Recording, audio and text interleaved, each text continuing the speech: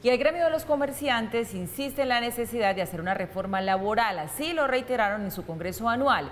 El actual gobierno ya ha descartado esta idea, pero según FENALCO es una de las primeras tareas que debe asumir quien llegue al Palacio de Nariño el próximo año. La economía va bien y el empleo mejora, aunque no al mismo ritmo, y hay que buscar, según FENALCO, hacer los cambios que se necesitan para crear trabajo. En este gobierno ya no se pudo, pero el próximo debería, en opinión de este gremio y de otros sectores productivos.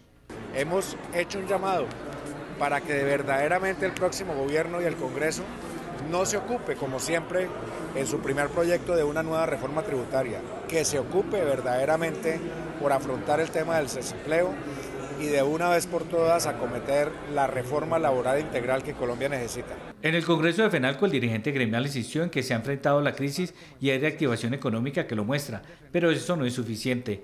Hay que aprovechar este momento para impulsar cambios que en el pasado no ha sido posible.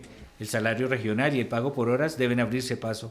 Hay que hacer un gran acuerdo por el empleo en Colombia con políticas públicas diferenciadas a las regiones, de acuerdo con las vocaciones, de acuerdo con los sectores económicos o productivos, de acuerdo con los segmentos poblacionales, recordemos jóvenes y mujeres los dos más altos en la tasa de desempleo.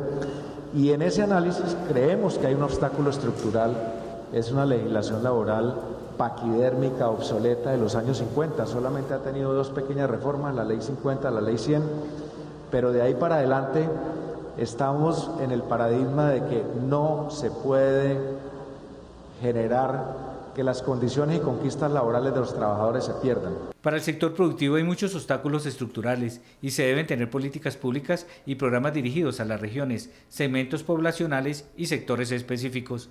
Desde FENALCO se propone un pacto social por el empleo con todos los estamentos, además de los empresarios, las centrales obreras, el gobierno, el Congreso, los partidos y la gente.